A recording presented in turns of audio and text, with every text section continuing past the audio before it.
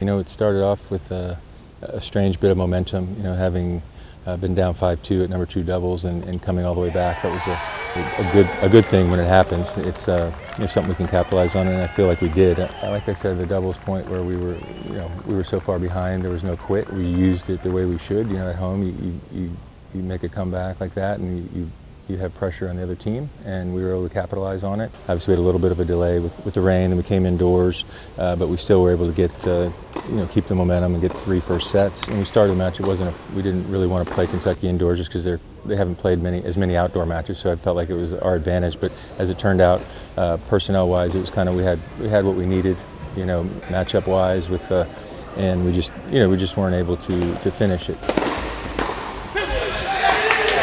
Kentucky uh, responded really well in, uh, in those matches.